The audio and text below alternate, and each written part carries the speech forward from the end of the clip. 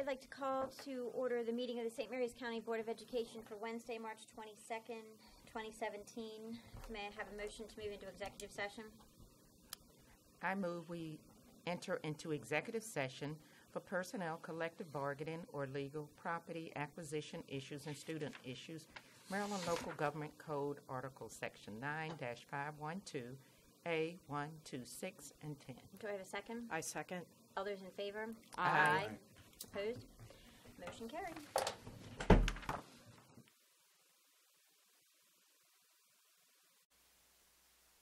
Convene the meeting for the St. Mary's County Board of Education for Wednesday, March 22nd, 2017, and we will begin with the Pledge of Allegiance. I pledge allegiance to the flag of the United States of America and to the republic for which it stands, one nation, under God, indivisible, with liberty and justice for all.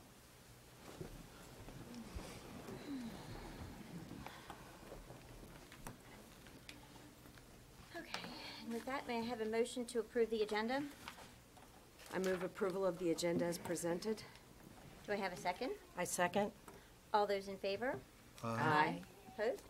Motion carried, and we will start with board reports. You're first. So in recent weeks, I have gotten a chance to work with the executive board of the Southern Maryland Association of Student Councils. So um, that's just an organization that um, gathers student councils from all of our public middle and high schools, and we meet once every other month approximately um, to hold new uh, elections and just to talk about topical issues in our school system. And recently, um, I spoke of this one last time. We've been doing a lot of workshops during that time um, because a lot of times when we're in middle school, especially, and in high school, we know that we want to implement programs in our schools, but sometimes we're not sure on how exactly do, to do that because change can be somewhat daunting. Um, so the executive board and I have been working together to hold workshops on public speaking, on implementing programs, on decision making, teamwork, listening, things like that, so that middle schoolers and high schoolers can understand how, you know, focusing on those basic skills can help us in the future. So whenever we do a workshop, what they do is after they learn how exactly they should be doing the workshop and how they can be teaching it, they go back to their own schools and most of them implement something there. So it's been a lot of fun to see the progress with the um, activities. And a lot of them are sometimes silly, but a lot of them are helpful in a rather fun way.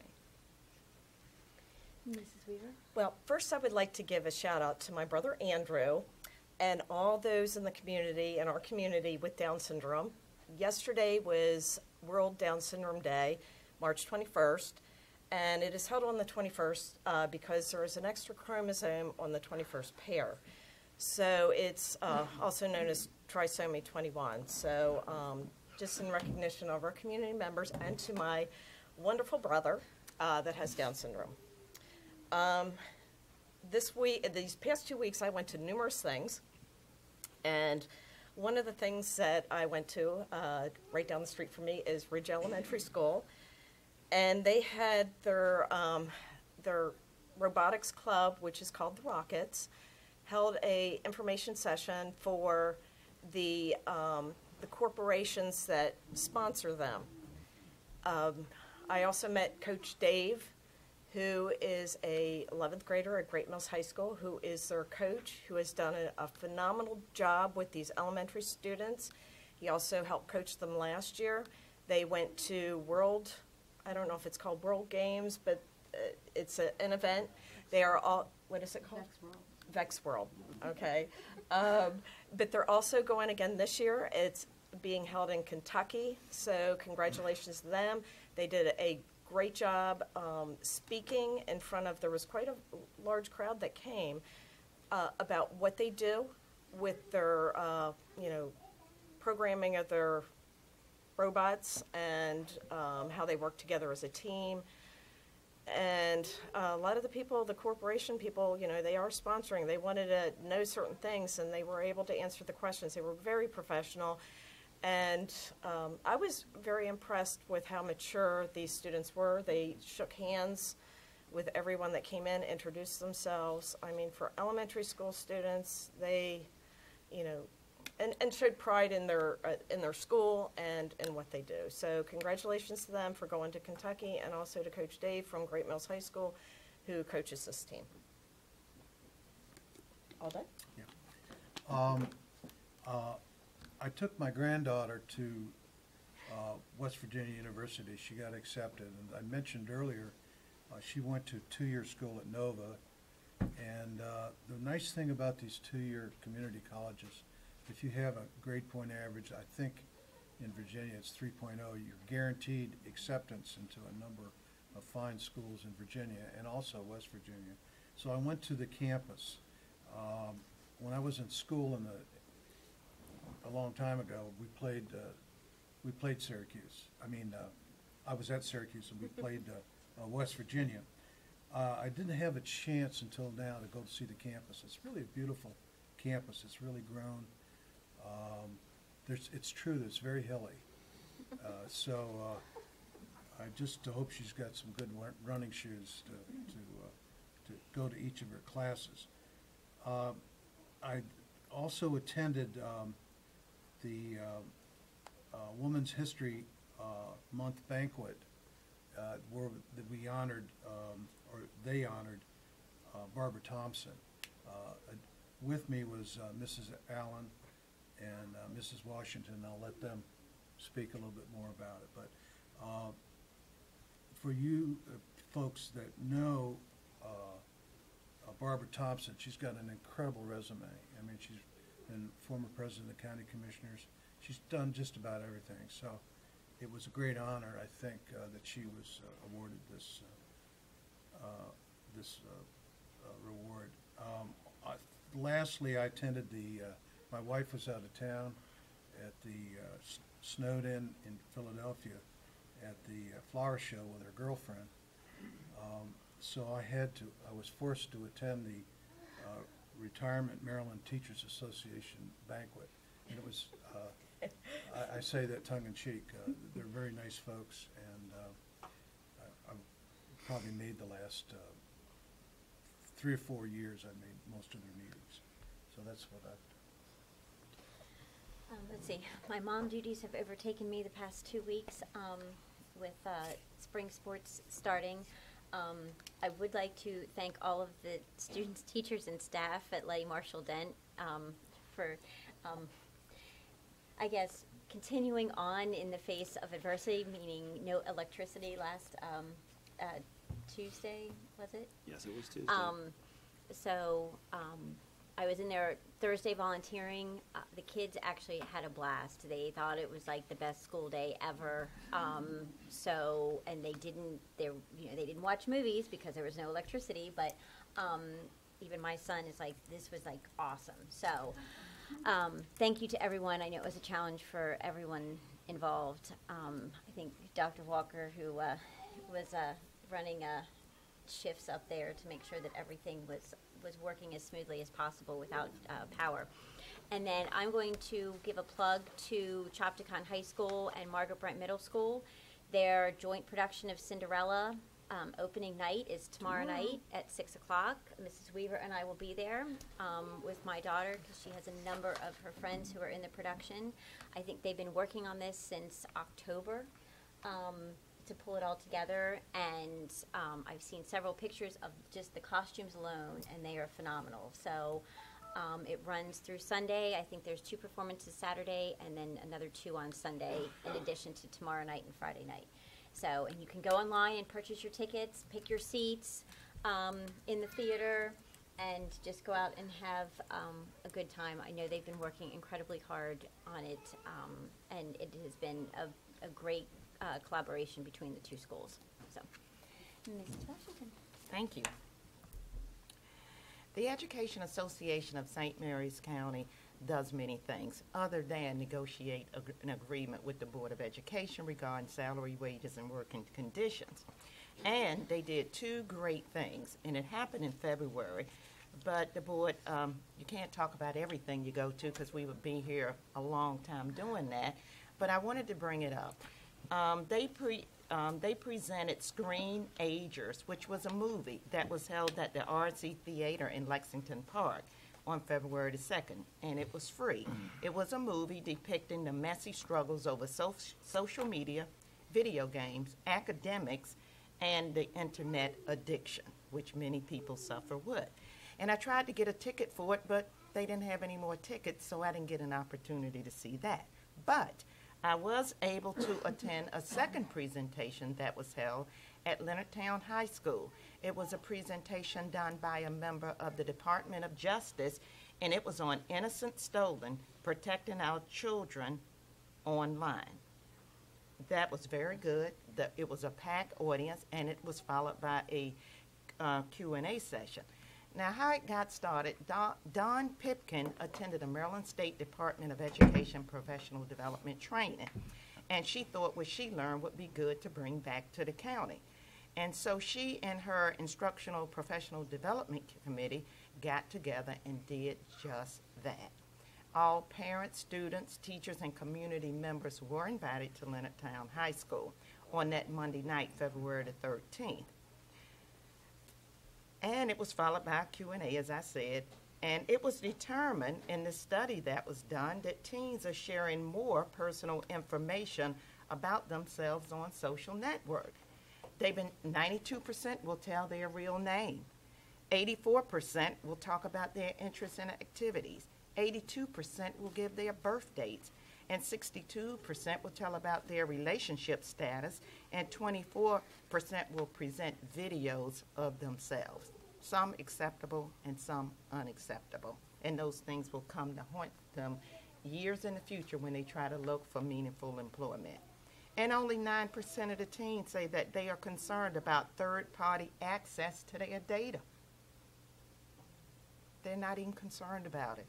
So, this presentation was to educate the parents, students, and community members how dangerous that is when young people put this information out and adults put this information out online. And Eric Schmidt, the CEO of Google, said in 2010 We know where you are, we know where you've been. We more, we know more or less what you're thinking, because you put it out there, and everybody can figure out what you're doing. And so there were some safeguards for using the internet, your mobile phone, and texting. And some of the suggestions were to parents do teach your children not to post identifying information on the internet. Do set a limit on how much time your child can spend online. Do keep the computer in a public room in the house. Do utilize parental controls provided by your internet service provider or your blocking software. And they gave out a list of all those internet providers and the blocking software that you can use to monitor what your children are doing or to block things. Do talk to your children about purchasing in app products. Do talk to your children about using any location services on their devices. Do periodically review your child's computer, email, and messages. You should have all of your children's passwords. Do spend time with your child online. Have them show you their favorite online destination. Get to know your child's online friends as you would their real life friends. And learn to navigate the web. Do know who they text and email. Most providers have online ways to identify frequent contacts so you can see if someone new appears as a contact. Do monitor your child's access to the internet and texting. Do talk to your child about the dangers of internet predators. Do watch for unexplained changes in your child's behavior. And do not hesitate to seek help from law enforcement if you think a predator may be targeting your child.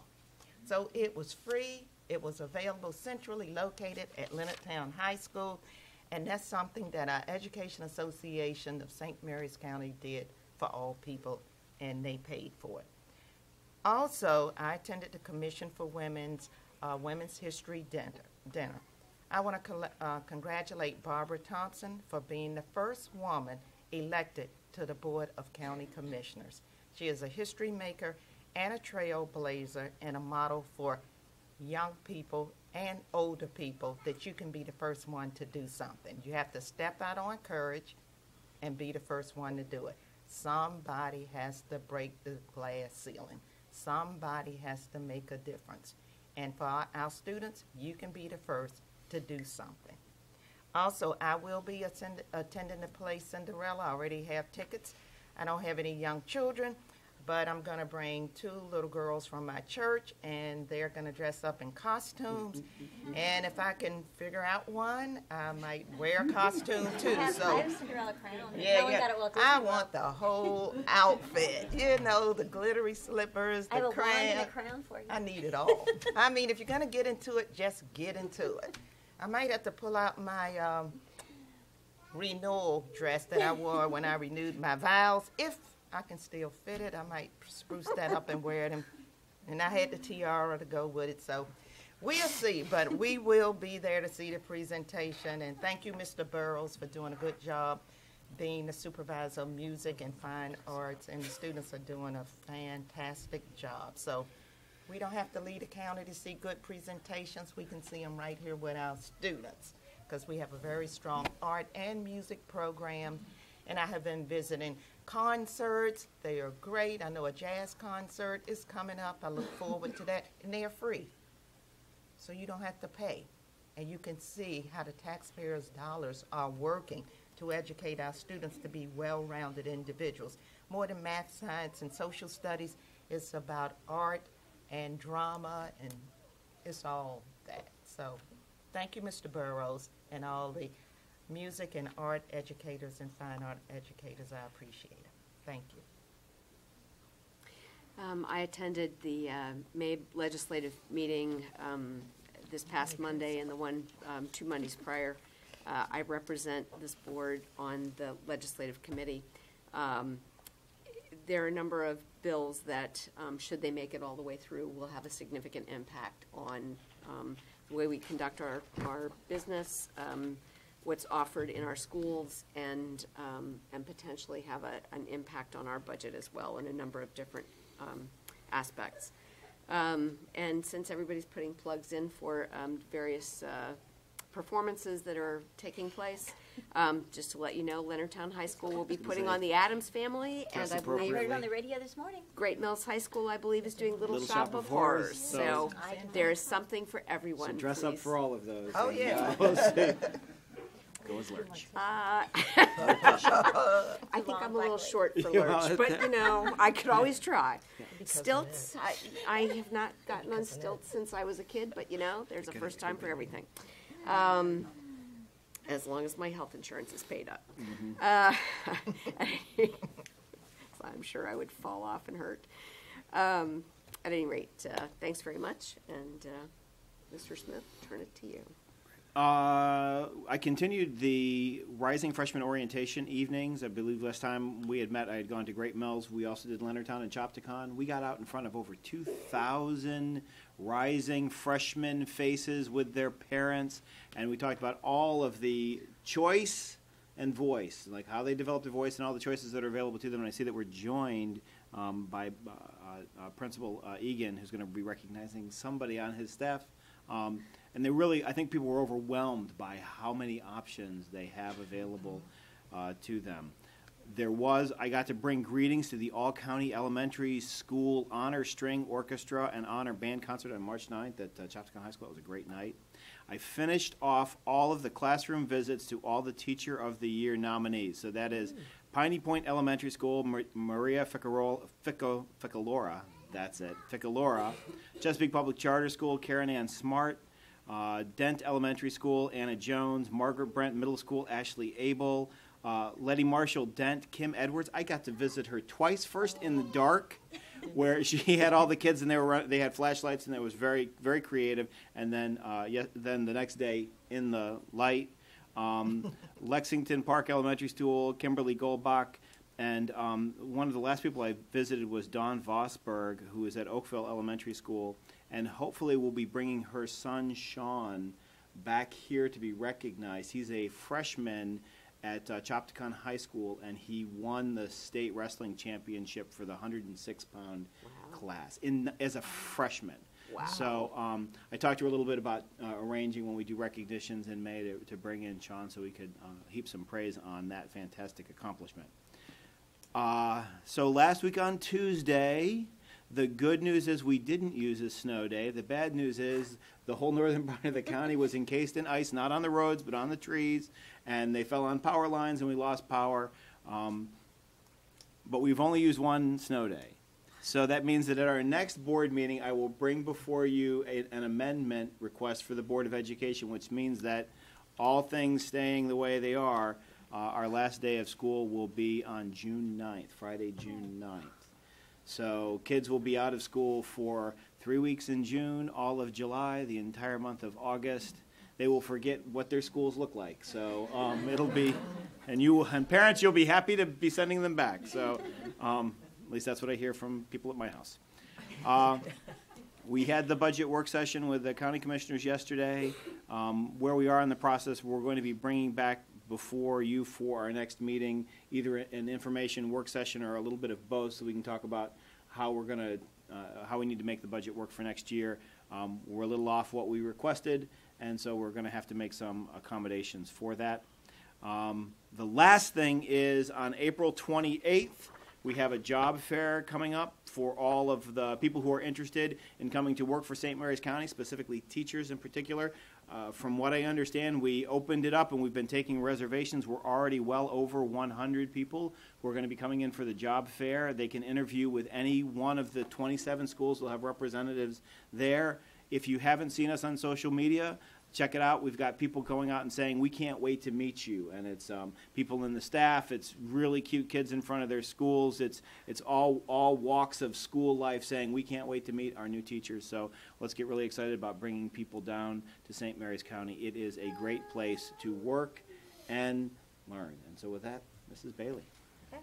thank you. All right, we're going to roll right into, I'm, been waiting very patiently, thank you. Um, Recognitions, Mr. Todd Bird.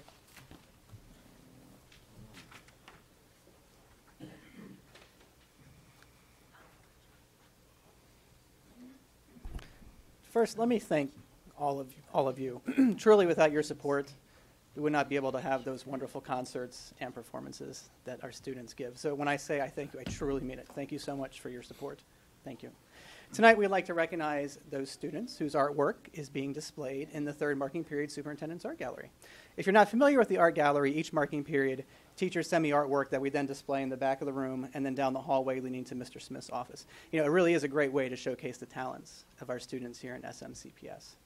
So, at this time, Mr. Smith, if you could please join me. And then, students, when we call your name, we ask that you go to the back of the room and then walk down the red carpet and come up and receive your certificate. So we are going to start with Miss Myra Day.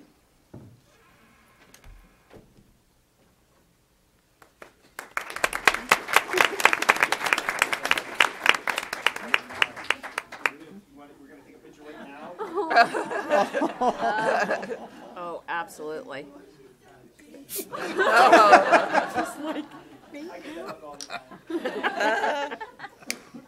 Oh, that's lovely. Congratulations. And that's your artwork right there, right? That your, that's beautiful.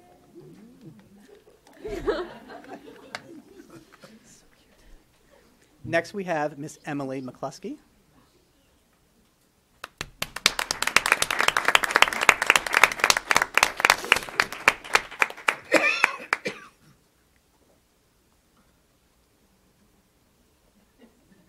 Congratulations, Emily. And your picture is like this triangles interlocking. It's really cool. It's right outside of the safety and security office in the hall.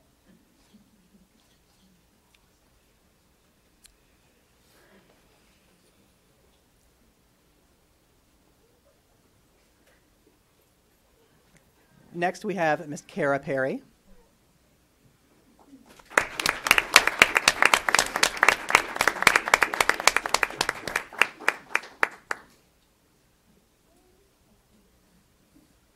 Congratulations.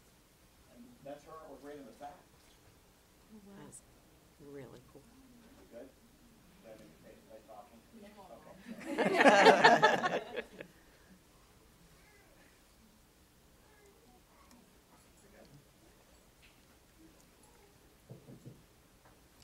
And our last recognition this evening is Miss Megan Carrig.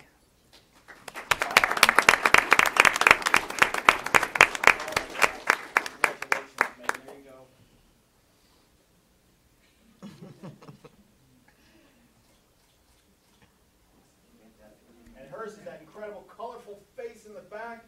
Oh, it fills me with joy.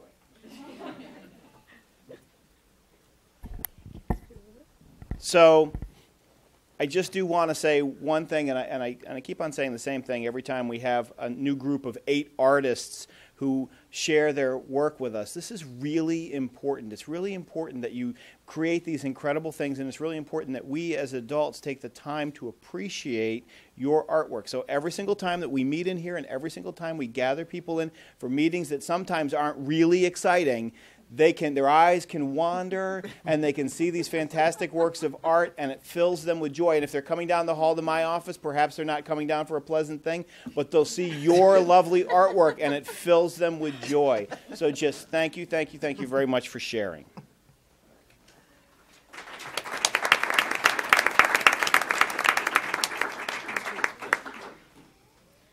All right, now, very quickly, we have staff recognitions, and then we're gonna take a break, um, so we can talk to everyone out there. So, uh, Ms. Bachner, somewhere, I see her, uh, Dr. Roper, and, uh, Mr. Egan.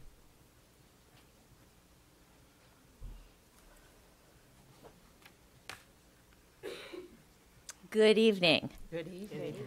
Uh, Mr. Burrows has got quite a quite a lot of accolades today, and I'm going to continue that. Um, if I had to probably read my bio and accomplishments, it would not take too long. But Mr. Burrows, I actually had to weed because we would be here quite a bit of time. Um, he's quite a remarkable young man, um, and I say young because he's way younger than I am. Um, and I've had the pleasure of working closely with him since July, so it's been a real pleasure. Um, Mr. Burrows is currently the supervisor of instruction for fine arts in St. Mary's County. He's the president of the Maryland Directors Association and formerly the director of bands at Chopticon High School in Morganza, Maryland. Under Mr. Burrows' direction, the band program at Chopticon has consistently been recognized for its achievement and its dedication to excellence. The Chopticon bands, under his direction, have received official citations from the St. Mary's County Board of County Commissioners, resolutions from the Maryland Senate and House of Delegates, an official citation from the Maryland General Assembly, and a congressional record statement from the United States House of Representatives. In 2010, Mr. Burrows was recognized as the 2010 Chopticon High School Teacher of the Year and is a nominee of St. Mary's County Public Schools Teacher of the Year. And in 2016, Mr. Burrows was recognized as the Maryland Music Educators Association Music Outstanding Music Teacher. Every two years, all members of the Maryland Music Educators are eligible to vote for board members of each component band, chorus, orchestra, general music, and a collegiate mem- representative. Mr. Burrows was elected as the Maryland Band Educators Association president and is now serving the first year of his two year term, along with a brand new job. His duties for that role as president include planning and implementing the two state music educators professional development conferences, planning and running the state high school, middle school, and state solo and ensemble festivals, excuse me, assessments. He has to assist with the planning and execution of the junior and senior all state band auditions. He selects the conductors for the junior, senior, and all state jazz ensembles and he helps to plan and assist with the junior, senior, and all state jazz band rehearsals and concerts. Write professional articles, which I've seen, for the journal that is published three times a year, and he assists with the creation of the budget that is required. As you can see and hear, we are very fortunate that Mr. Burrows calls St. Mary's County Public Schools his home, and we congratulate him for this achievement. Congratulations.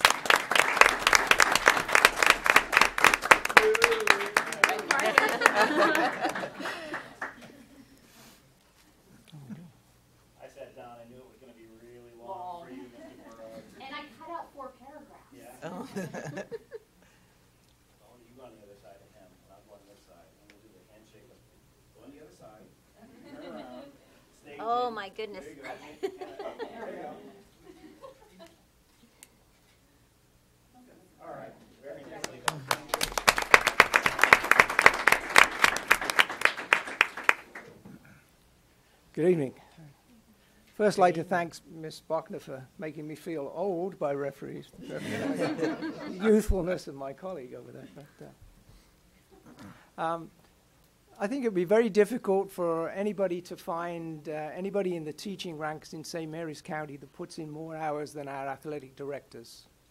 Uh, on days when uh, some teachers are excited because maybe we do have a snow day, um, athletic directors are still working because they're on the phone, they're talking to uh, coaches, to officials, to transportation, they're rearranging things with other athletic directors, so their work goes on. They are in 12 month positions, so although some of our students will be having a, a longer vacation this summer than normal, come August the 9th, uh, our athletic programs will be up and running again. And obviously, a lot has to be done before that. Um, the Maryland State Athletic Directors Association uh, recognizes a district athletic director from each of the nine districts across Maryland. Those nine districts are determined by the Maryland State Public Schools uh, Athletic Association. And, and this year, Mr. Tira from Leonardtown High School was selected as the District 4 Athletic Director of the Year. He will actually receive his award uh, in April at the State Athletic Directors Conference down in Ocean City. Uh, but we do have a, we do actually have a certificate for you for today. yeah, we weren't too sure about that a little earlier on. Um, uh, so at this time, I'd like to invite him to, to come forward. So.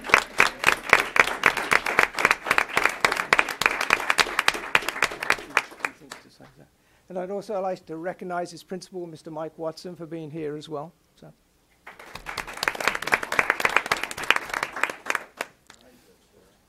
And as, and as Mr. Smith goes through that, I'd just like to share a few things about Mr. Tier and embarrass him while he stays up here for a moment. just, just stay for a second. Yeah. Um, Mr. Tier is a member of the National uh, Interscholastic Athletic Administrators Association, through which he qualified as a certified athletic director in 2013. He's a member of the State Athletic Directors Association and has uh, been a representative at, from our district to that organization in the past. Within the Southern Maryland Athletic Conference, he's held uh, sport committee chair uh, responsibilities because each sport has to have a chair and they're made up of athletic directors from across the Southern Maryland area. Uh, he's also been secretary and vice president in recent years. This coming summer, he takes over as president of SMAC for the next two years. So all the SMAC meetings, the pre and post meetings of each season will be held here in this room uh, across the course of the year. And his role at president will be to guide that organization. The uh, business is the work of the organization is done through boards of control that he will, he will be in charge of, uh, at which time all rules of the conference are established for the particular sports the divisional championship, or the way that that is set up, uh, and uh, oversees all the scheduling as well that goes with that as well. He's been at Leonardtown High School as athletic director for about eight, eight years. Eight, eight, years now. Seems like twenty. No. Um, so, some, if you've been in athletics, you know some days, some days are long days. Uh, and in recent year, he's initiated such things as uh, installing some Bermuda grass fields, realigning baseball and softball fields. Uh, he also started the Raider Athletic Program, promoting uh, academics uh, in the school. And among, among, his many duties are sort of coordinating building usage and extra pay for extra duty. We're very fortunate to have somebody with his expertise. Uh, had a career many years ago, started with the U.S. Uh, Army Airborne, used to be six foot seven, and I'm glad somebody got that right. He can be and, uh, but, but, but, seen, but since then it has uh, gained about 30 years of experience. Um, and people think, how do you become an athletic director? And, and, it's very, very difficult. Sometimes it's a little baptism by fire. You're suddenly in the position and you learn on the, on the, on the road, as it were. But over the years, Mr. Tier has coached football, basketball, baseball, softball, track and field, and men's volleyball. And having that experience does help, obviously, anybody do the job. Right now, he oversees 19 sports. Uh, many of those have uh, both varsity and junior varsity teams. The actual award from the state athletic direction, uh, and I just wanted to get the words right on this, is presented to athletic administrators who have made a significant impact on the lives of students and used athletics to achieve progress in the social and cultural environment of the school and the community. So again, would you please join me in congratulating Mr. Tira.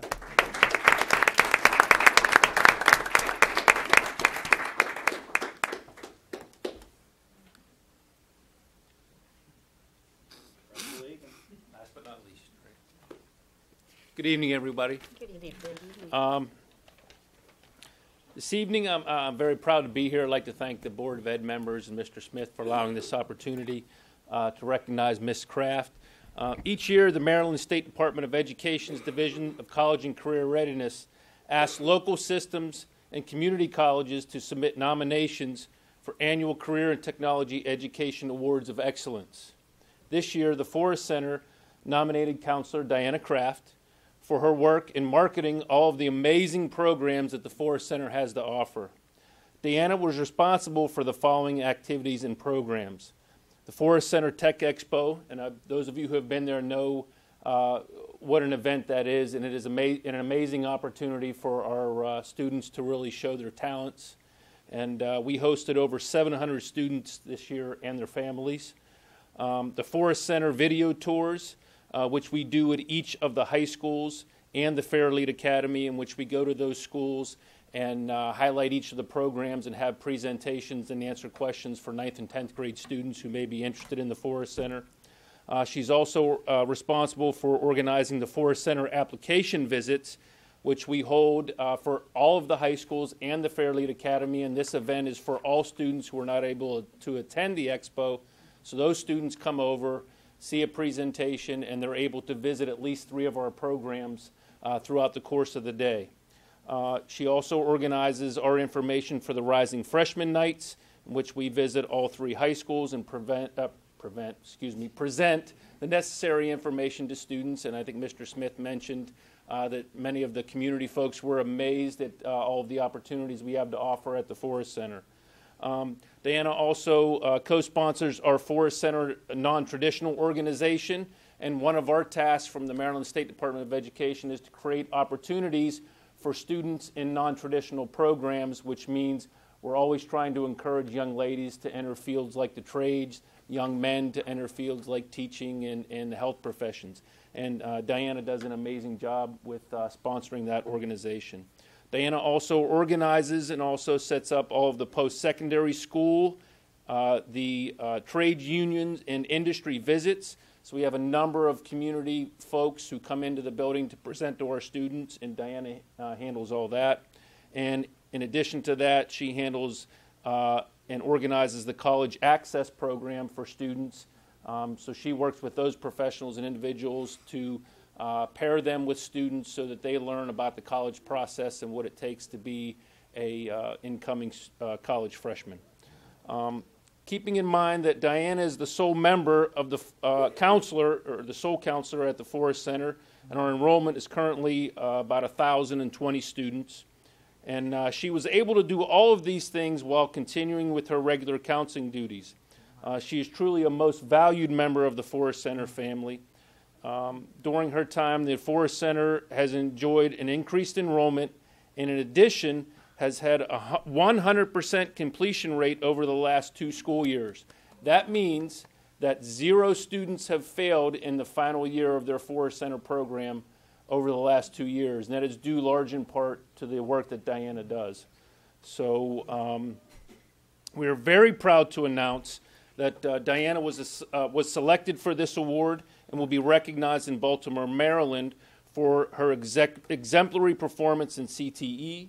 And uh, Diana will be commended for her work in creating the highest quality public information and outreach materials uh, which promoted secondary, career, and technical education programs in St. Mary's County.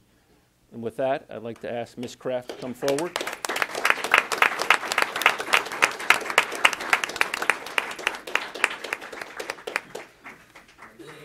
All right. You're in the middle. Rose, thorns, yes. That's it. Congratulations.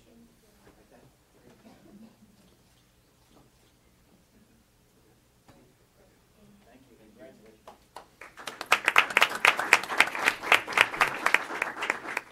And bef- before we go to a, before we break, um, I would just like to say oftentimes we think of education and we think of the classroom teacher. We may even think of the paraeducator, but it really is wonderful tonight to recognize all of the other people who really contribute to making a well-rounded whole child experience, whether it be career education and things that are going on at the technical center, whether it be expression through the arts, or ultimately ultimately, when we really take a look at a lot of our high school programs, it's the athletic directors and the activity coordinator. I will tell you, we wouldn't be going to any of these plays over the next several days if it wasn't for the activity coordinators at Chopticon, Leonardtown, and Great Mills. And so, thank you to all three of you. You make the school system possible. Thank you. So, why don't we take a. Uh, attention? Oh, I want to say something. When I was giving my report on um, Screenagers and innocence stolen protecting our children online, I failed to thank Anna Laughlin and Jill Morris, who are sitting in the audience. They are co-presidents of EASMEC, and Dawn Pipkin, vice president. I did thank her, but I forgot those two very important people for bringing this to the county. Thank you. All right, we'll take a 10-minute break.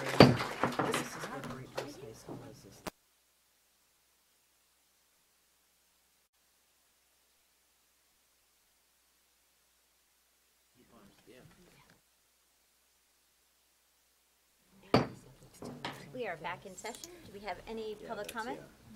Okay. All right, then with that, may I have a motion to approve the consent agenda? I move approval of the consent agenda as presented. Do I have a second? Second? All those in favor? Aye. Opposed? All right, Mr. Hartwick, emergency generator at Greenview Knolls. Exciting Why would, things. why would you need an emergency generator? Oh, that's right. When we don't use snow days, right? Yeah. Oops. Wrong end of the county. yes. There we go. Good evening, board members. Uh, This is actually the second time we have brought this, uh, this contract to you. Uh, We had to reject the bid back in November. Um, And uh, hopefully tonight we will, we will be successful in the award of the emergency generator. Uh, Just to refresh your memory, that the funding for this project is uh, composed of two sources. $200,000 is a FY16 QZAB allocation, uh, and $44,440 in local funds uh, for the project. Uh, One of the big hurdles for QZAB uh, is that they must conform to the provisions of Davis-Bacon, and particularly the, the wage determination. Uh, We did select Greenview Knolls Elementary School, uh, not only for the generator, but for a number of other uh, low-voltage system upgrades. So the installation of the emergency generator is actually uh, reusing uh, a generator that was relatively new from Spring Ridge Middle School that had to be replaced as part of that renovation. Um, A second element uh, in the project was to upgrade the data infrastructure at Greenview Knolls in order to support the Wi-Fi access points uh, to, to the level that is found in, in other schools. Um, The sound system in the cafeteria is original, uh, and it's failed, and they're now using a, a portable unit. Uh, We had the security system main panel replacement as part of this project. Uh, Also, the public address system repair upgrade. Uh, I will tell you that was the systemic HVAC project that we did a number of years ago. We basically replaced all the PA wiring, and that was the main problem. So going down the road, we think we will just have to replace the, uh, the uh, console unit. And then finally, there was a desire to add a few more fire alarm devices um, and make sure it was tied in properly to the portable units that are at, or relocatable units at Greenview Knolls. So those were the, the different components. Uh, we did retain Gipe Associates as the engineer for this project. But as we got into this, it was clear that the budget was not going to be sufficient for every item. Uh, In particular, the fire alarm system grew substantially in scope.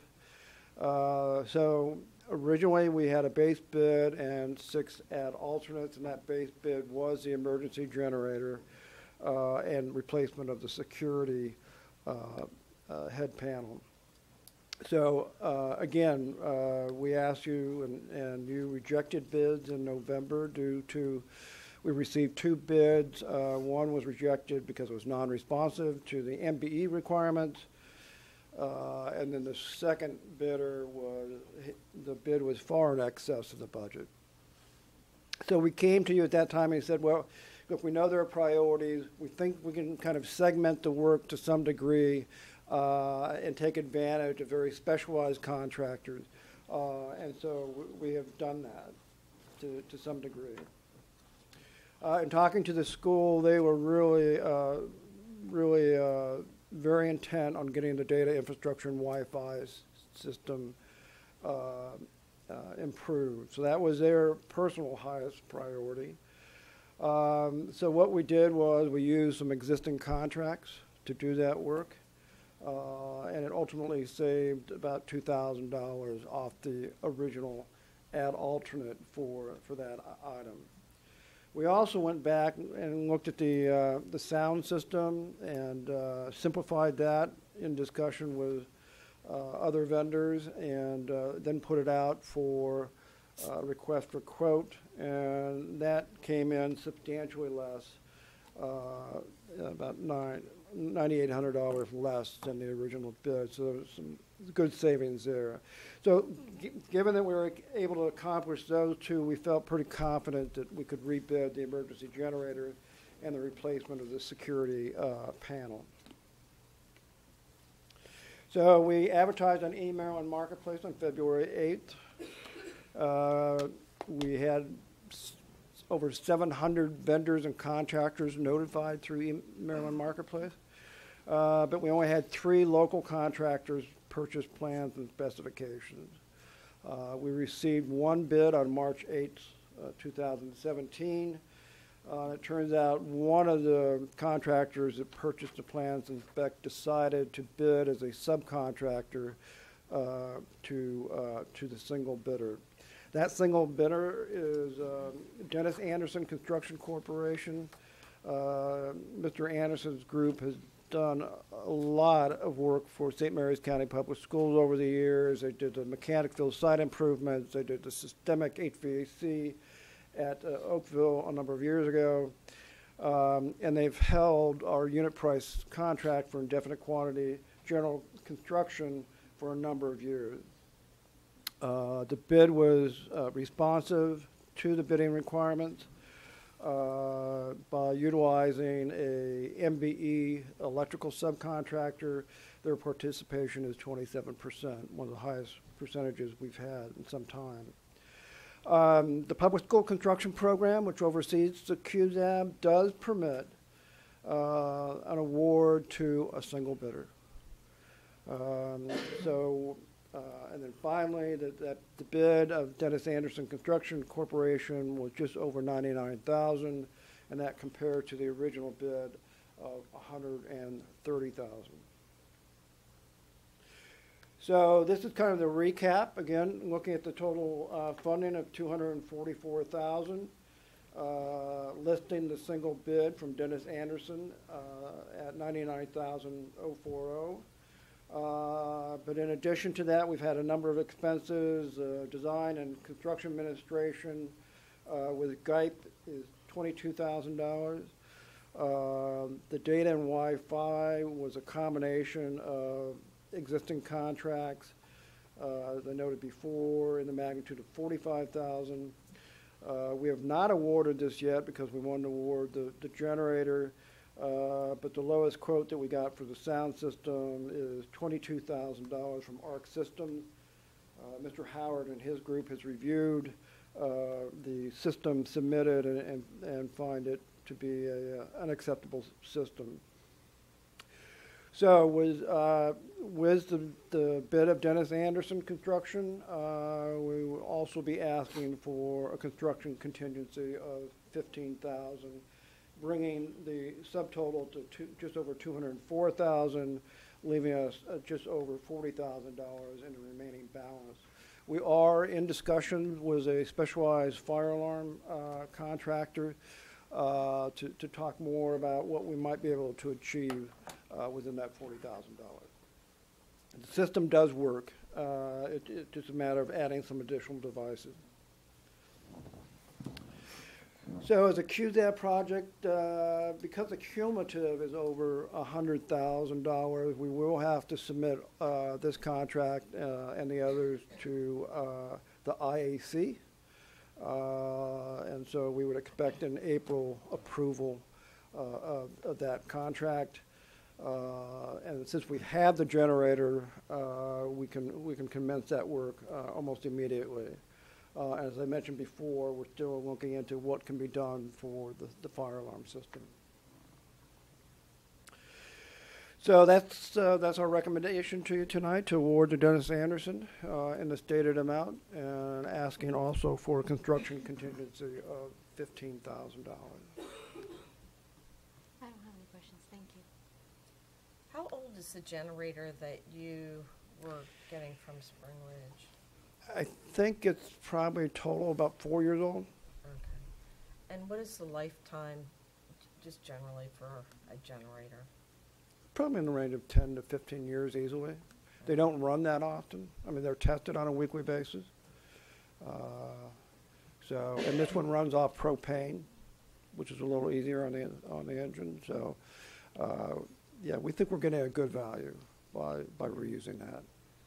And then, uh, will they be, since it's not a new generator, I mean, who then will be providing a warranty? Will it be the, what is it, the Dennis Construction? Will they be, um, providing warranty on their, on, uh, their, their service and their work? Or is it go back to who provided, you know, the generator to begin with? Um, as far as warranty and service on it? They, uh, they will, they will be providing a new transfer switch, uh, to match up with the generator, uh, and they will warrant, uh, the workmanship on the rest of the work. Okay. All right, thank you. Mm-hmm. Uh, you have a contingency of fifteen thousand dollars on a Yeah. ninety-nine thousand dollar contract, is that correct? Yes. Uh, that's, a- that's fifteen percent, that's pretty high, isn't it? for- It- It is, but on these smaller jobs, uh, you know, usually my percentages are a little bit higher. uh, Especially when you have to understand, this is a, again, it's a Davis-Bacon project, uh, and the wages are quite high. And that, that's the reason. I mean, I, it's rare that we ever use all of our contingency, but we just like to have it so that there's no delay in uh, authorizing the work. Isn't all your con- contracts, uh, under Davis-Bacon, uh, wage, wage, uh, thresholds? Uh, I couldn't quite fully hear you. Okay, I'm sorry. The work that you do for the schools, doesn't have to, doesn't all of your labor, uh, require Davis-Bacon? No, it does not. It does not. It, o- it only uh, applies to projects that have their uh, origin in federal funds. Now, uh, we do have on state-funded projects, if it's over five hundred thousand dollars, Right. then we have prevailing wage, and there's a little different wage Sure, I scale. there. understand. Okay, thank you very much. Yep. That's all I have. I don't have any questions, thank you. No questions, thank you. No questions. Okay, with that, may I have a motion for this action item?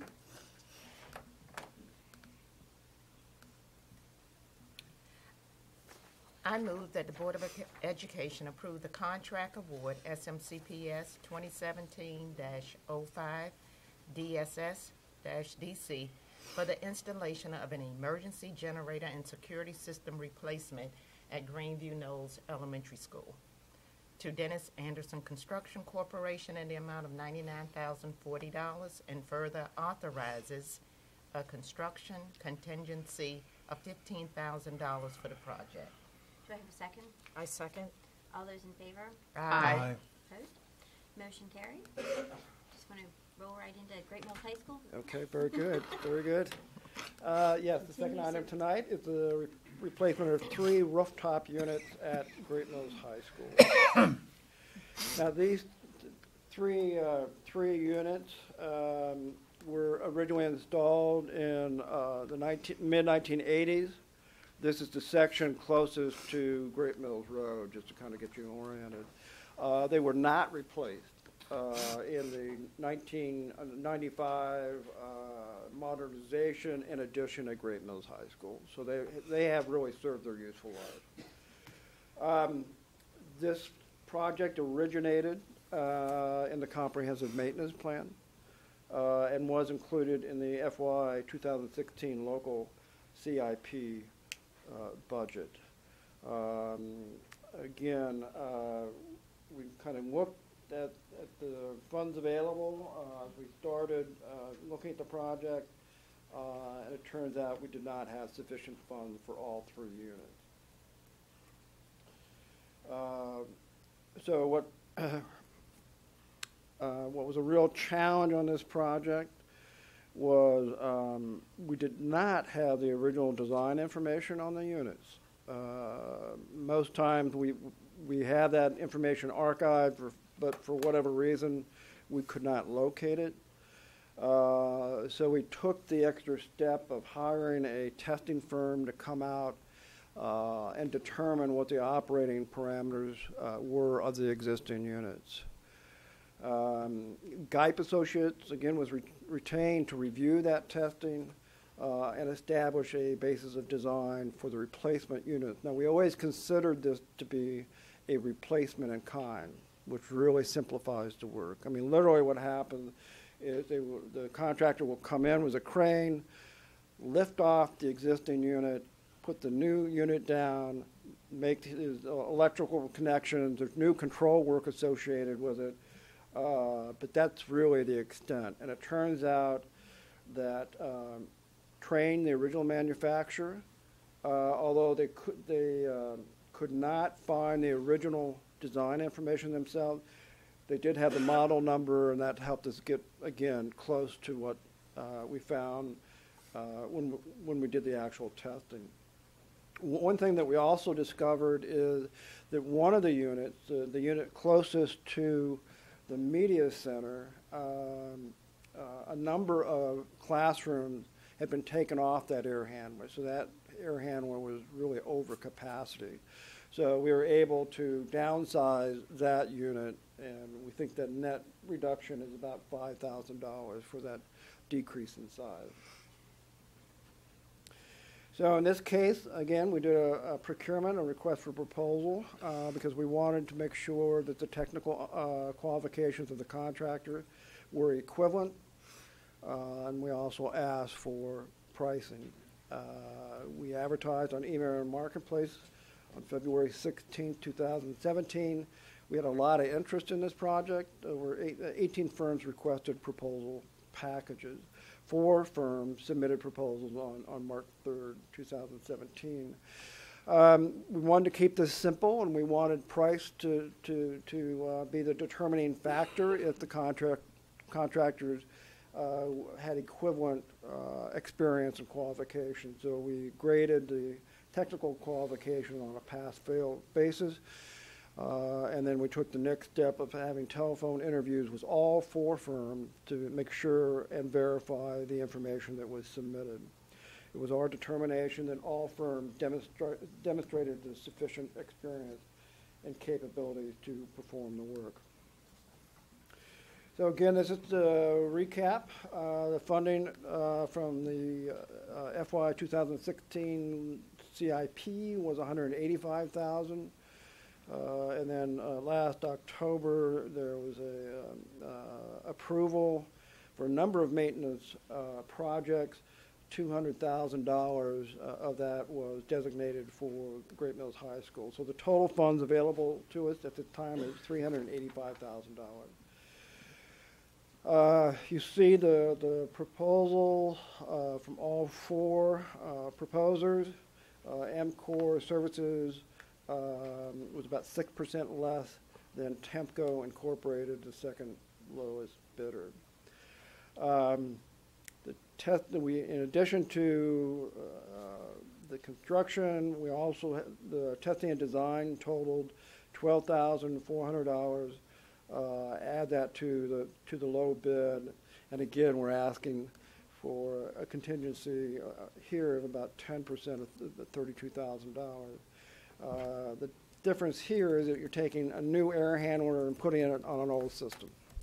And so um, we, we just want to have that leeway in case there are things that have to be changed out that we weren't, uh, down the line that we were not, not aware of. Uh, So that brings us to just over three hundred and seventy-two thousand with a remaining fund balance if we use the entire thirty-two thousand uh, construction contingency of twelve thousand seven hundred and twenty-seven dollars. So we're able to accomplish uh, the work with the funds available.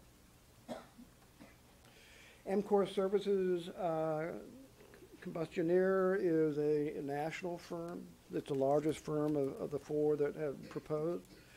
Uh, and they do specialize in mechanical and construction services locally, and most importantly, they perform, perform similar work for PG County Public Schools and PG Community College.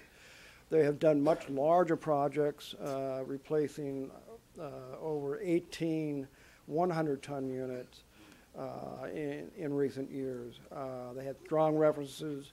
Their surety uh, is actually rated A plus plus by uh, AM Best. So in, in that way, they are, um, they are responsible. So that's, again, going to be our recommendation that you award to uh, EMCOR for the stated amount, and we ask for a construction contingency of $32,000. I have no questions, thank you. No questions, thank you. Uh, Gipe Associates that, that did the, the uh, study, performance study, uh, did they look just at the chillers or did they look at air handlers? It was just the air handlers. The, the chiller, uh, well, what you need to know is um, Great Mills High School is kind of a hybrid.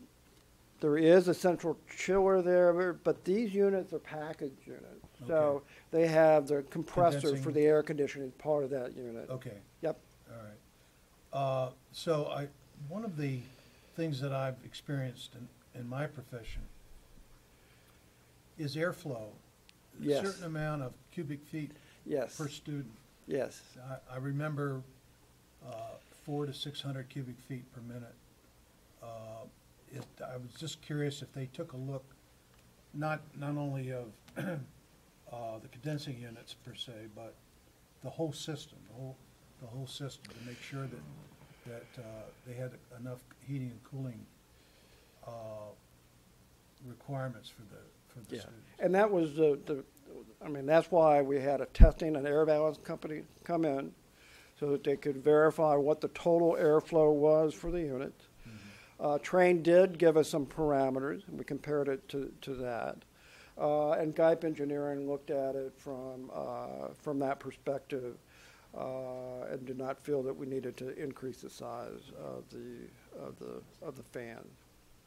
Um, Just a comment, uh, when I first looked at this, um, th- my question was, did you do the proper testing? And I- I want to uh, compliment you that you did the, did the thing that a lot of, a lot of contractors don't do, or a lot of architects don't do, so. Uh, I'll have to tell you, Kudos, it's from kudos. lessons learned. That's all I have. All right, thank you. I have no questions, thank you.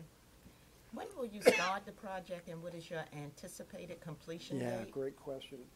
Um, We, um, uh, all- I will tell you that all four proposers proposed on the Trane unit, okay? Uh, And they're all using basically the same control contractors. So it's going to be pretty straightforward in getting the submittals in to order the equipment.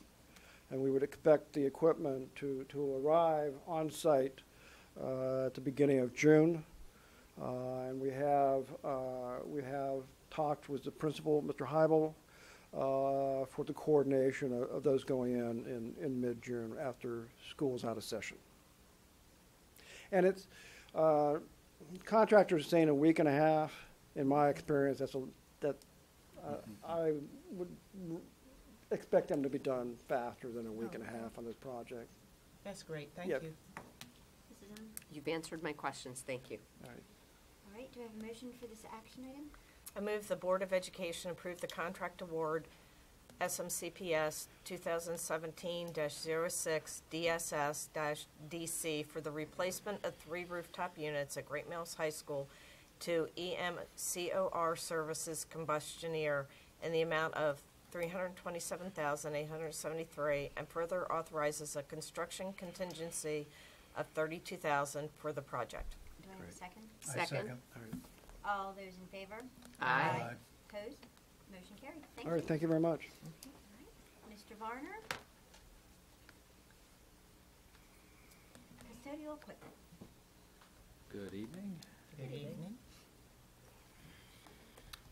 I'm here to talk to you, uh, hopefully get your approval for continuing our current contract vehicle for the um, repair of our custodial equipment and- and preventative maintenance services. I'll start off with a little bit of background information. Uh, Last February, I brought before you uh, this contract, which you approved uh, through Frederick County Public Schools, unit price, uh, for Citigroup Incorporated, to be our vendor to procure parts and labor services uh, to repair our custodial equipment, um, up to $40,000 operating funds per year. That particular contract was valid through February 28th of this year. Um, During this year, um, we've had great success with Citigroup. They're very responsive to our needs. Um, We have them scheduled coming down on a, on a per-week basis. Uh, And they visit both the shop that we have at the Division of Supporting Services as well as going to our school sites to repair our larger equipment that isn't easily moved back and forth from school to shop. Um, And even if we have an emergency situation, they've been very responsive and are often uh, have a technician down in St. Mary's County within 24 to 48 hours. We've been very happy uh, with this contract. In addition, um, many, in fact, the vast majority of our custodial machine equipment were purchased from Citigroup, so it's an advantage for us to have uh, the same company doing preventative maintenance on those as well as repair. Um, Recently, Frederick County, uh, by use of their Extension Recommendation Committee, um, approved an extension of that contract through March 8th of 2017. Um, Excuse me, through uh, February 28th of 2018, um, at the same pricing structure that that counts for parts, labor, uh, as well as travel fees. Um, We would very much like to continue using this particular contract. It's been very successful for us, uh, and I am, I am here seeking your approval to do so. I'd Be happy to answer any questions you have at this time. Questions, thank you. Okay, um, well, I have a question. When, when Frederick County puts out their bid, um, are there, like, what you need for your parameters for your equipment, is that, is it always the same as what they're looking for, or is, um, really, you're just trying to fit into their needs, what your needs are? Uh, I don't know if I'm explaining very well. Um, Basically, Okay. basically, if, go ahead. Okay, I think what she's asking is that when you are looking at Frederick County's contract, Mhm. are you, are you tailoring what we need for our maintenance efforts to fit what the contract has in, established in its parameters? Right, Okay? instead of, that's, that's it, I was trying to think, instead of doing your own contract to actually tailor to your needs. Not necessarily. Um, we do go out and, and, and we establish what our needs are, and then, and then Vicki and I go out and see what other vehicles are available out there. But this particular contract, um, and this particular service that we need, along with a couple of others that require someone driving from a distance to get down on our peninsula, um, it's a little bit difficult to, I mean, I think we take advantage of a county like Frederick, who also does their equipment repair in the same way, in that um, that bid was set up with travel time from the DC Baltimore metro area to Frederick County. We can take advantage of that, even though the distance for Citigroup or other vendors to travel down to us is a little bit further. Um, so that's an advantage. But to answer your question, uh, we, we establish what we want first and then determine if there is an appropriate vehicle out there, and if not, then, then we build our own spec and bid and contract. Okay, and I noticed that there were some, like, uh, some dashes in here where it says like fee for pickup uh, redelivery of equipment or on site.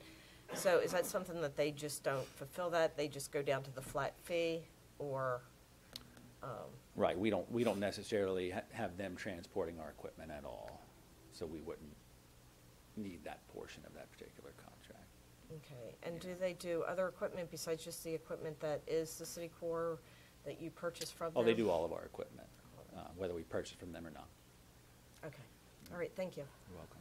Uh, The only question I have is, do you see any cost benefit for the school system by using uh, the Frederick County contract vehicle? Or is there any economies of scale, uh, expertise that you can transfer, things like that?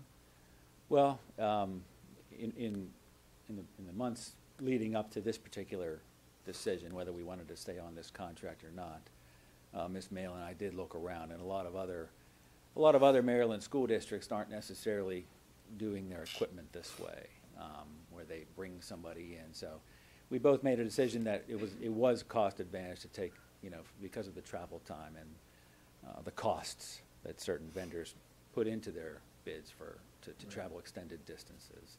That was a key factor in our decision to, to try to stick with this vehicle. I have nothing else. I don't have any questions, thank you. Um, What kind of uh, equipment are they servicing? The big equipment, like those riding buffers and things like that? All of our scrubbing machines, be they walk behind or ride on, all of our buffing machines, again, some are large ride on at, at high schools, um, down to our backpack and hip vacuum cleaners.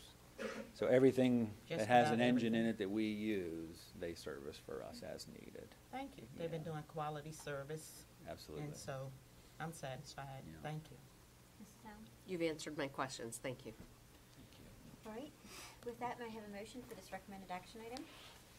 I move that the Board of Education approve the continued use of Frederick County Public Schools unit price contract thirteen M H, excuse me, M eight with Citigroup Incorporated to procure parts and labor services to repair custodial equipment up to forty thousand dollars, utilizing operating funds throughout the duration of the contract, February twenty-eighth, twenty eighteen. Do I have a second? Second? All those in favor? Aye. Motion carried, thank you. Thank you.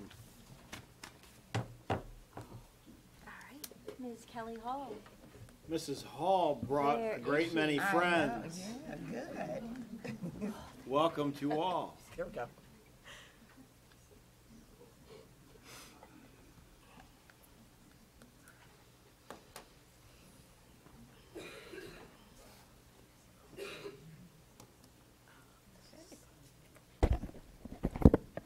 Good evening. Good evening. Um, I want to begin by uh, sharing with you that this presentation is about programming for the summer for at-risk students. And the important thing that I want you to know up front is that everything is a, being paid for by grants, and you're going to see a lot of braided and blended funding and lots of partnership from the community to make this work.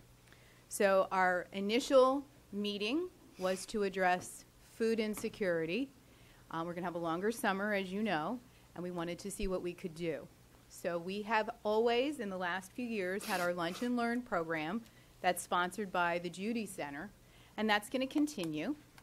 But this year, in partnership with our St. Mary's County Public Schools Food Service and Nutrition Department and a grant that they were able to get from the USDA, we're going to extend Lunch and Learn for eight weeks. Usually it's been five. It's going to go to eight weeks. And it's going to run June 26th to August 17th, Monday to Thursday, because our school buildings are closed on Friday at both Carver and at Lexington Park. And you can see the signs there. And we're going to make sure that we have press releases and flyers, and um, we use the, the phone out system to make sure that the message is saturated. And as you know, you come in for lunch and learn, you enjoy a nutritious meal, and then there's a fabulous learning activity with our partners four days a week. And there are some um, examples of some of the fabulous food that's been served in the past. And you can see some of our students last year were actually shucking the corn, and they'd never done that before. So our lunch and learn staffing at both George Washington Carver and Lexington Park Elementary Schools, we are going to staff that with a teacher and a paraeducator and two safety assistants. And the way that we're doing that, several years ago, our fabulous Judy Center won an award from the state of Maryland for the most outstanding partnership. It's a $5,000 award. And we really didn't have any great need at the time and thought, we're going to save this for a rainy day. This is the rainy day. Mm-hmm. So that's how we're going to pay for this. And you can see the list of our partners, and I'm going to introduce some of our partners that are here. You can see the size of the partnership that wraps itself into the Judy Center to make all of this work. Some more pictures of lunch and learn activities. Some of you have joined us in the past to see the public library, to see the NAACP, to see um, Parks and Recreation there, soccer in the park. Um, you've seen some really exciting things that the kids enjoy doing. Now, Lunch and Learn is going to run for eight weeks, but summer is 12.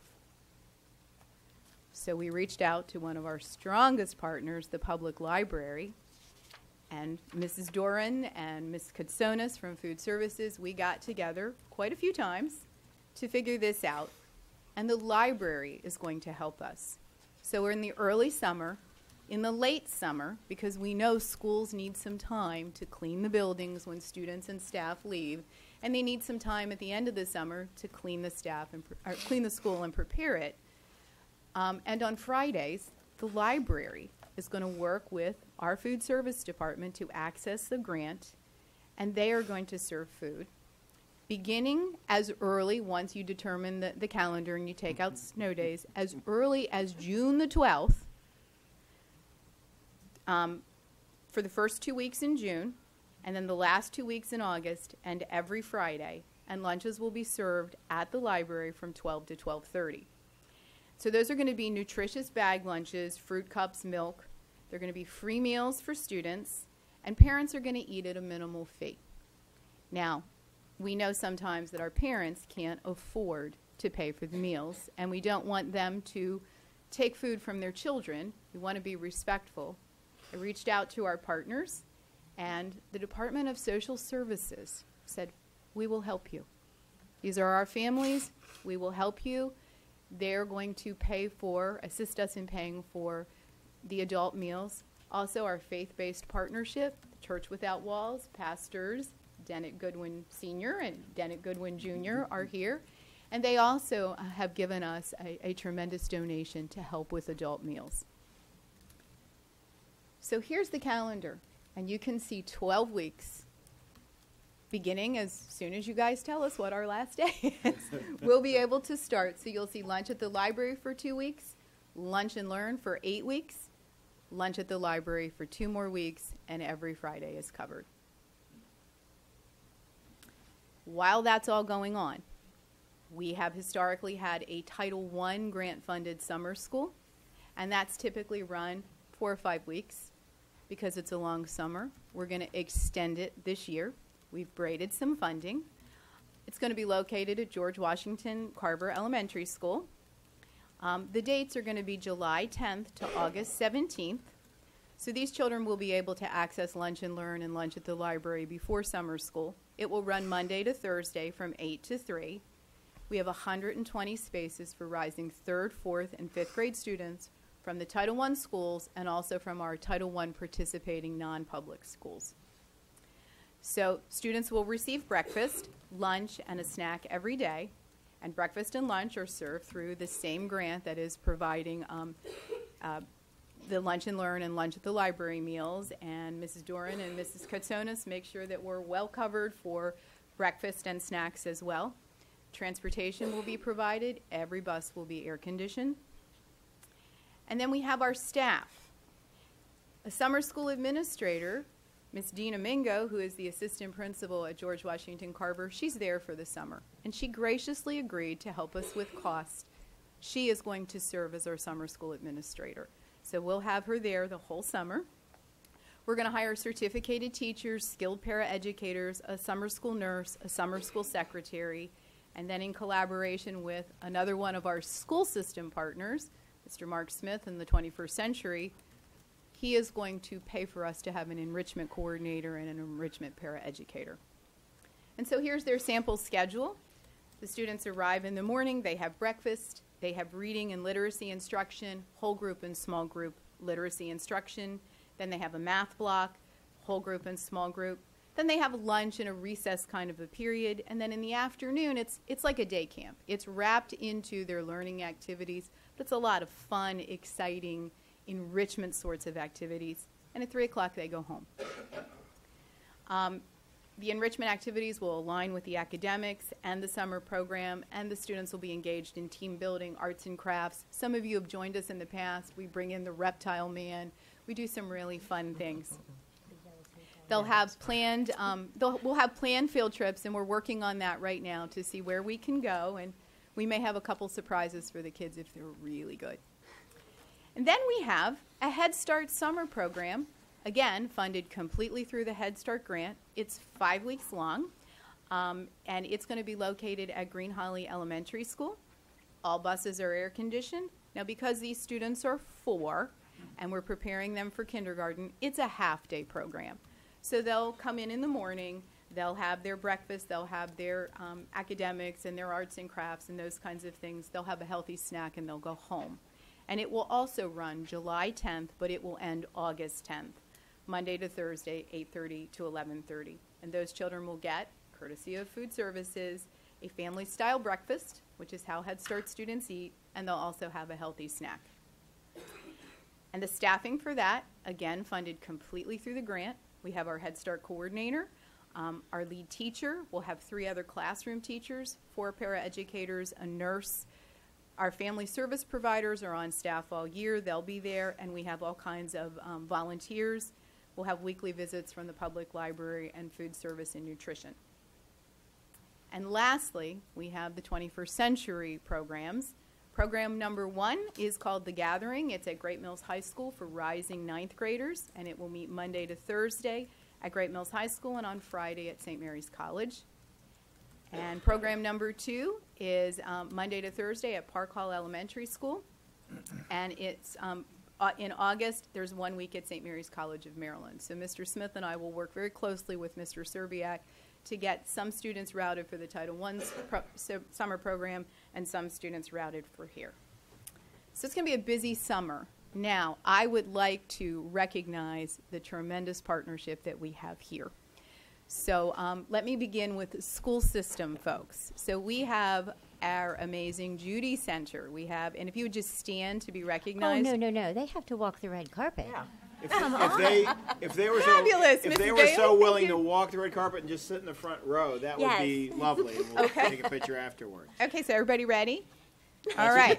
She's like, no. So from the Judy Center, Judy Center is led by Mrs. Wendy Binkley, our Judy Center specialist. Thank you. Carrie Sperling, who is our family service specialist. Frenetta Carson, our program assistant. A- Ann Kirshner, our early childhood liaison. And then we have food services, Megan Doran and Sherry Katsonis. And we have our Title I summer school administrator, my friend, Dina Mingo. Thank you. Yeah, all of you. We have our Head Start coordinator, Mrs. Kelly Dobson. We have our 21st century grant coordinator, Mr. Mark Smith, great friend of Title I. And then we have some of our partners here. We have the Director of Social Services, Mrs. Ella Mae Russell, and we also have Team Leader Carrie Machoto.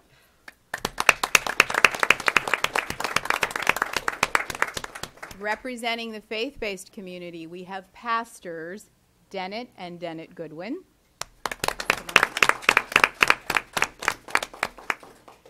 The Public Library, we have Deputy Director Marianne Bowman and Amy Ford.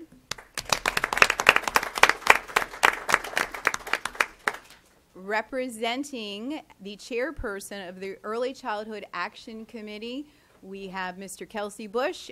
Um, the ECAC is a part of local government. They're great partners with the Judy Center. And we have the president of the NAACP, Janice Walthour, longtime friend of education, longtime friend of mine. Please join us. So, um, Board of Education members, you know, they say it takes a village. This is the village. Here it is. Thank you all so much. We are so grateful. Thank you. Don't, but don't leave. Could we get a picture? Right. See if and there's while we're movement waiting- behind the, behind the door. While we're waiting for the picture, I know at um, at Mr. Smith's State of the Schools presentation um, back in the fall, the question was posed after the the governor's directive came out to begin school after Labor Day as to what how are we going to handle with the longer summer. Um, and there was kind of that uncomfortable shift in the room by some of our funding agents as to how it was going to work. So lights out. um, so I just wanted to sincerely thank all of you for coming together and totally thinking outside the box on this in order to make sure that some of the neediest students in our community and in our schools are taken care of, um, you know, during the longer summer program. Um, does take a village. Um, I, a lot of people just take what you do for granted. A lot of families who don't see the same struggles that you, the families you work with, we take that for granted too. And to have this number of people in the community and the school system um, be working this hard, and I'm sure you started in September in order to piece all of this together, and the cooperation among everyone. You can say yes. I know you did. It was when we found you, when we had the calendar. You Right. know, once once that was decided, it's like okay. There there were some sleepless nights in there until we could get it figured out. But Right. It's just it's, it's just a phenomenal um, network of support for the families in this community. So thank you. Thank you very much.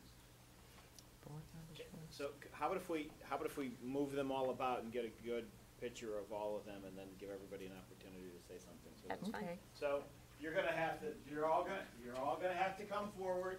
And You're all gonna have to arrange yourself in an appropriate way up here, so. so- Appropriate, that's so the key. taller people drift to the back, the other people drift to the front. Let's get a really great picture. We wanna get everybody No, that's in okay. here. We'll all line up right here.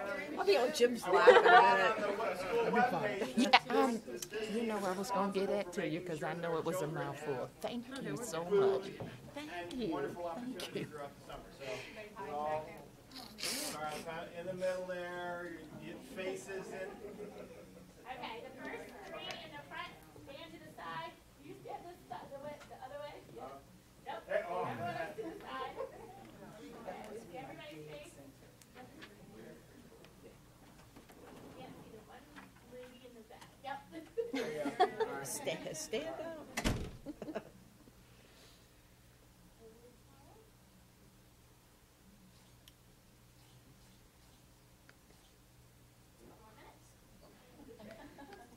My gosh, it's an old school camera. Old school little one.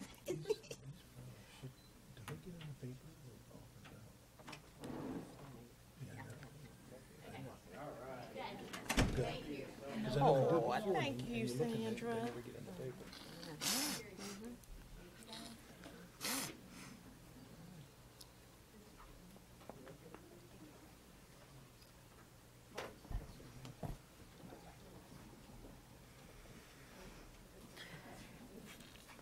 Thank you all for walking the red carpet. All right, does anyone have any questions for Ms. Hall or comments? I From- have comments. Go ahead, go. Um, well, I just wanted to say thank you to everyone who's here. I know, um, speaking from a student perspective, I've gotten to sometimes volunteer, like at Judy Center, and just to hear what students have to say, and it's just an amazing um, opportunity for those who really need it. And the fact that we have so many people in the community who are there to help during the summer, and especially now that we have a longer summer, it's fantastic. And the fact that this is all grant funded is amazing. I don't know how you did. I don't know how anybody did this much work, you know, to get everything together. Because I imagine, like Mr. Smith was saying, you guys have had to put a lot of long hours in um, piecing this together, and I feel like the outcome will be um, great as it always has been. I really just thank everyone for helping. forward. Well, thank, thank you for your kind words. You know, there's no problem that you can't solve when you get smart people around the table. So we figured it out. So thank you. Mrs. Weaver? Well, you are amazing. And so is each person in here for stepping forward to work together to help out to make this work. Um, each one of you are a piece of the puzzle to put it all together. And Kelly, my hat's off to you for, you know, I don't know, you're, you're amazing. Well, to- it's that village. Uh, It's that village. But, But yes, thank you. and thank you each one for stepping up. I have gone to the program uh, last year several times. I did get to see the uh, Reptile man. the reptile man, The bug boa. and and also the kids shucking the corn and things like that. And they had a great time. And you know they're they're in a great environment, um, learning and having fun at the same time, getting that meal. And you know each one of you are a part of it. And thank you. Thank you. Uh, Just wanted to uh, echo uh, what everybody else is saying. Um, Head Start uh, program, this is a classic example of how it can work. I know on a national level, a lot of people aren't particularly happy. Uh, They want to cut funding on Head Start. There's nothing in my mind um, more important than helping kids, especially uh, pre-K children, to get into a learning environment to help them trans, you know, transition into a formal school, Thank you. schooling. So thank you very much. Thank you. Thank you.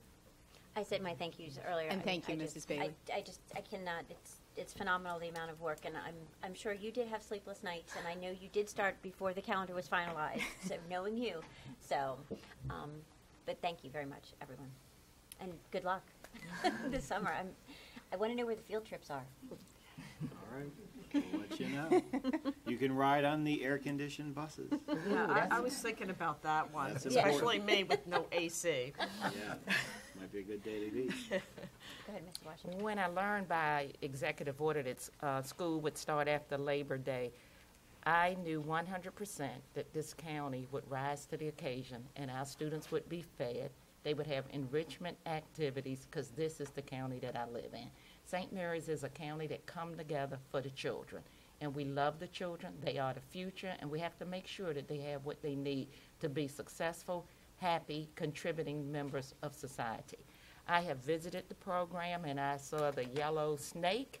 I touched him. Ms. Hall touched the snake too. And the students had a fabulous time. And the Church Without Walls, I think they bought about a hundred pizzas one day I was there, and I think the students ate every pizza. I don't think it was a slice left. Thank you for that. I just want to thank everybody for what you're doing for the students. This is a great county to live in, and I will continue to visit the programs. Please And do. it's wonderful how we can come together in the county, work as a team to get what's done. And I knew it was going to happen. And thank you, Ms. Hall, for getting all the partners together. I thank the library, that's very good and innovative, to, for them to have lunch and a learning activity on Fridays. That's fabulous. And they're in a perfect place where it's safe. They can just blossom. And we don't want those minds to lose what they learned over the summer. And I thank you all for what you do for our students. I think too often people just assume that everybody is the same as they are, or that um, these issues don't happen in St. Mary's County. Um, because you are so good at pulling all of this together and, and knowing all these folks and, and reaching out and um, having that understanding, um, I don't know that everyone fully appreciates the work that's involved and the extreme need that's out there. I'm very grateful that you have pulled this all together. I'm grateful for the partnerships, and so many of them are longstanding partnerships. Um, this is not the first time you've been here with us. Um, this is um, this is a repeat performance, and for that I'm very grateful. And please tell Michael Blackwell, the director of the library, um, thank you. Um, I know he's been out of town for a, a conference, but um, uh, very grateful that um, you are there and that you are partnering with us this year in an incredibly more extensive way than, than we've needed in the past. Um, and I, I truly hope that this is the beginning of a, of a long-standing effort um, because this is not not something that's going to go away after this summer. It's going to happen again and again. Um, and for students to know, for children to know, for families to know, and parents to know that um, you are there for them is uh, incredibly powerful. So thank you all very much. Very, very grateful. And if I could have the final word, no- as we were talking, Mrs. Montgomery was mouthing words over to me and drawing me over to her to remind me to make sure that we praised Mrs. Hall for her work. Did we forget to? No, I think we're good. Mrs. Hall introduced me to the concept of braided funding.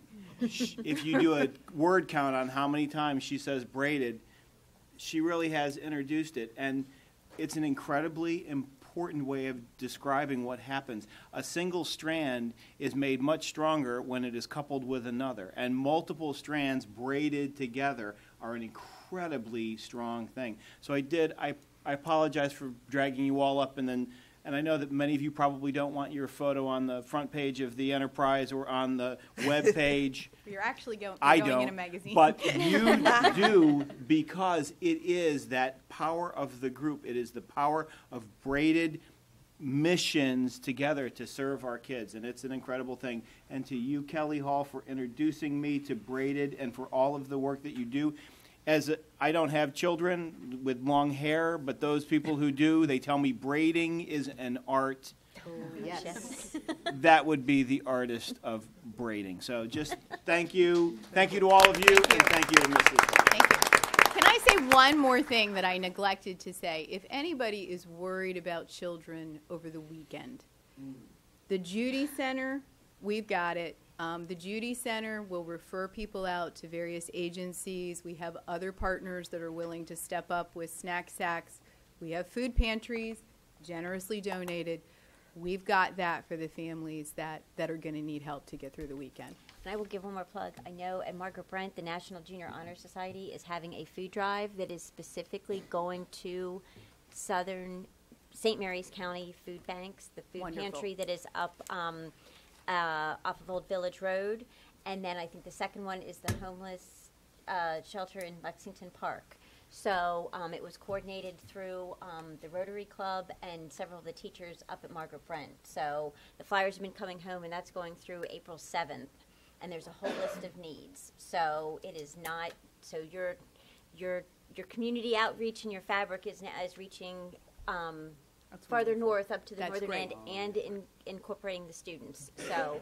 Um, Excellent. So Thank you. Going to give them a plug as well. Thank you. All right. Thank you. Thank you, partnership. Very nice. Thank you very much. Okay. With that, our next meeting is Wednesday, April 5th at 9 a.m., just before spring break. Just Dun, before dun, spring dun, dun. break. We will have the last day of school at that point in time. Yes, we Correct? will. Yep. All right, and we are adjourned. Thank you.